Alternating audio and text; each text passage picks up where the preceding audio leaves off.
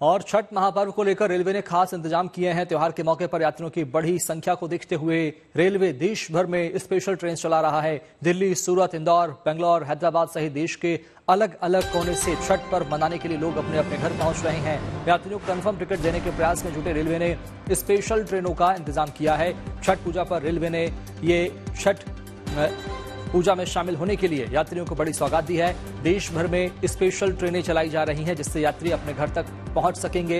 यात्रियों को confirm ticket देने का प्रयास रेलवे लगातार कर रहा है। इसके साथ ही यात्रियों की बड़ी संख्या को देखते हुए सुरक्षा के पुख्ता इंतज़ाम किए गए हैं।